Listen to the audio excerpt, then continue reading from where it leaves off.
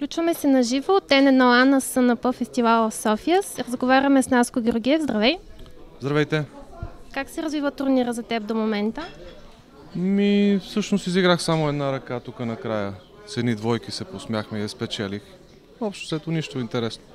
Колко чипа имаш в момента? Ми, може би към 70.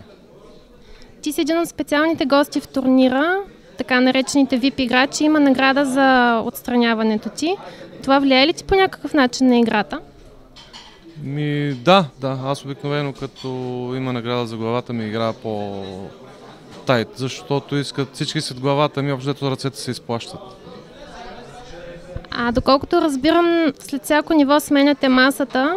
Как се нагаждаш а, толкова често на различни опоненти? Е, нямам проблем с това, смисъл.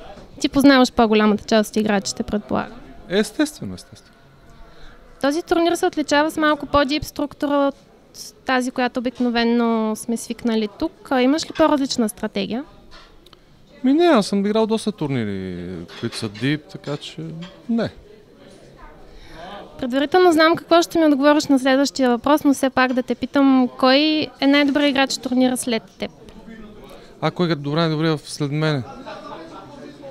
Уф, сложно, има много добри играчи. Кой все пак ти е фаворит? А, утрешния ден брои, броиме ли го? Да кажем от играчите от днешния. От днешния...